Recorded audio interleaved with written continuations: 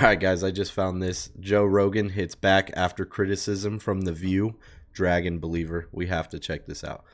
We have to. We went from Walter Cronkite, basically, to this guy Joe Rogan, who believes in dragons. He, I checked it. He, believes, in dragons? He believes in dragons. you triple and, yes, I did. And he also thinks guys i listen to a lot of joe rogan and like yeah he says he says some crazy shit sometimes but uh dragon believer? That they, dragons, like I guess, like dinosaur type type of animals, Yeah. roamed the earth when people did. Rogan really leaning into this one by changing his dude okay guys we have to check that. Just real quick we have to check that right now. Oh my gosh chat. He really changed it to dragon believer. I don't know if you guys could see it but dude savage bio to quote Dragon Believer. Joe Concha is a Fox News contributor and he joins us now. Joe, this is so up Joe Rogan's alley in terms of what he finds funny. To first of all be called a Dragon Believer. Yeah. And also to be accused of being an unreliable source of information by the ladies of The View. So what is your reaction to all of this? Oh, yes, Carley. We should absolutely trust The View and not the guy. okay so i have i've never watched the view but i have seen that they are losing their minds right now and uh let me know if i should react to one of their videos in the comments we'll maybe we'll get a chuckle or something who revolutionized the world uh, with electric cars, SpaceX. I could go on with the, the accomplishments of, of Elon Musk. Uh, I, I have a question. Do, do stupid people get to a point in life where they realize that they're, you know, stupid? Because this is no sounds like in legacy media. Uh, I've said this before in this program. It's worth repeating again it, because it's so disturbing. Uh, the View is under the ABC News umbrella.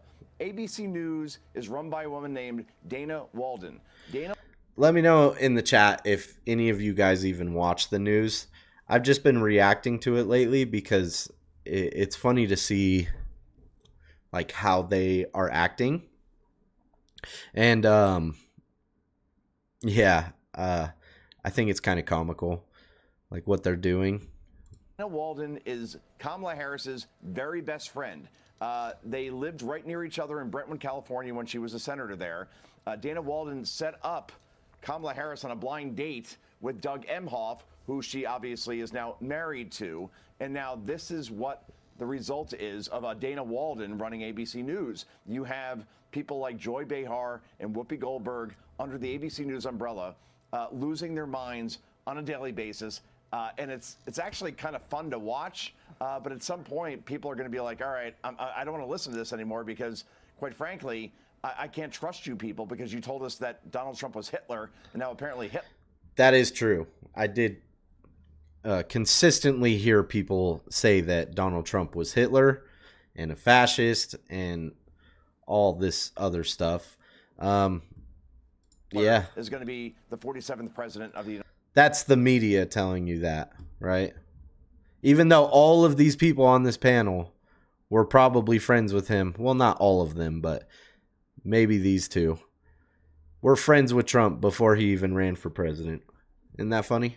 United States. Go figure. Mm. Well, at some point, I, I would argue that point is already here. I mean, look at the ratings from the election and beyond. I mean, mm-hmm. people are not watching Yeah. this stuff, and I, I broaden that out to all the Facts. It's because people go to Twitter or YouTube or anything else for their information or podcasts because you guys get paid to tell us what's going on, you know?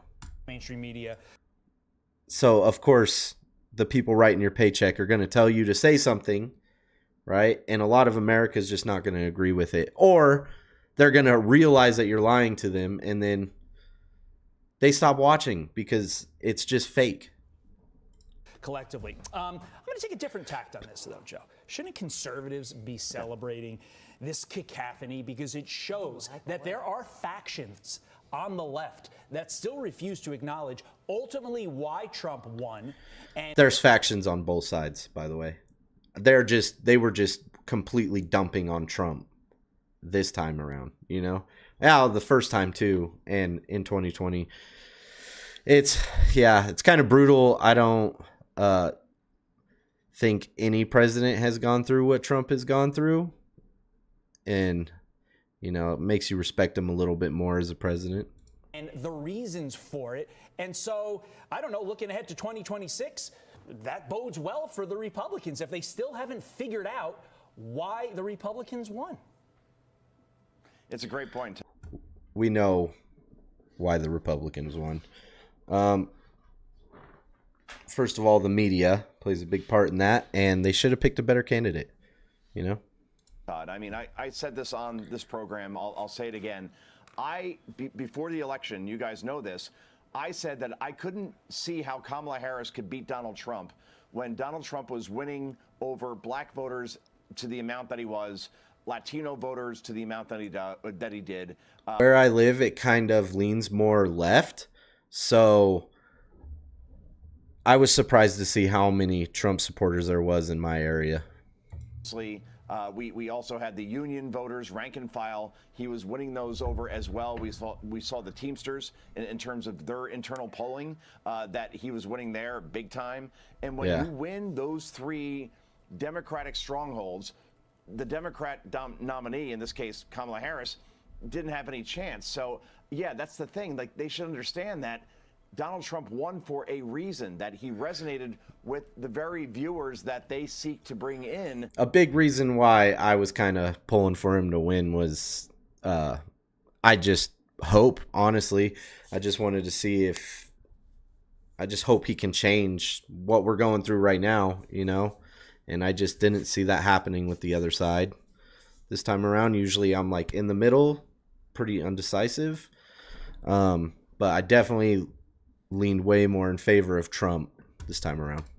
And uh, yeah, I, I, I'll just leave it there. That that that Trump resonates with people, while people like Joy Behar and Whoopi Goldberg, Whoopi Goldberg, what? Went after a Staten Island bakery because right. they wouldn't make her a cake because their boiler went down. I mean, come on. I mean, this this is insane. And at some point, people are going to be like, "All right, I'm done with you guys. I'm done." All right, really quickly, yeah. continuing with the post-mortem here. Here is former NBC News anchor Brian Williams. He was on with uh, Seth Meyers last night. Watch this. It is tough love time for the Democratic Party. I think it needs to be stripped down and rebuilt. I think it's, it's insulting when. True, yeah. Yeah, I think they just need to get their values aligned because they're trying to push this crazy stuff, and a lot of Americans just don't want that. You know what I mean? America was built a certain way. Let us live that certain way. You know, like we want our freedom. We want to be able to afford things. You know, those are two simple things. Just freedom, being able to afford things. You know, there's much, much more, but for me, that's it. When members of the working class which the Democratic Party has lost entirely in our lifetimes, um, to insist the economy is doing great. I think the biggest unforced error of the Biden administration by far was the border. To tell people it's not a problem is insulting. He also said that he wants to know whose idea it was to have Joe Biden run for reelection at a 38% approval rating when he is the age that he is. I'll be quick, guys. Uh, yeah, uh, we we talked about this. I've talked about this on the air well before the election. I love hearing this this stuff after the election, but yeah, yeah. the border is a big. It's been kind of nuts. It affects every community in this country. The economy, you can't say it's great when people look at their bank accounts and say no, it's not. They go to the grocery store and they say I'm paying twice as much as I did under Donald Trump. So why should I vote for this administration again? So yeah. the analysis is correct, but after the fact, I, I kind of find funny because we talked about it before the election, and uh, that's the whole ball game, unfortunately. And I'm sorry about my voice, by the way. I'm, I'm fighting a, a, bit of a, a, cold, we'll call it, and uh, probably the you know what. Just trying to fight through it. So if you have kids, you're fighting a cold from October through April. Everybody knows that. That's true. Joe when Concha. school starts, you're going to be yeah. fighting those colds. Thank That's right. you. well, at least it's the weekend, so hopefully you can rest and relax. Thank you for joining us, waking up Thanks, early. Guys. I'm Steve Doocy. I'm Brian Kilmeade. And I mean. Okay, yeah, a lot to unpack there, but uh, I clicked on the video for the Joe Rogan stuff. Um, we got a little bit more there, and I kind of put my two cents in. So, um, if you stayed and watched the whole video, thank you. I appreciate it. Don't forget to like the video, hit that subscribe button, leave a comment. Let me know what else to check out. Uh, anything's cool. Um, for now, maybe click on one of these. Yes, sir. Have a good one. See you guys next time.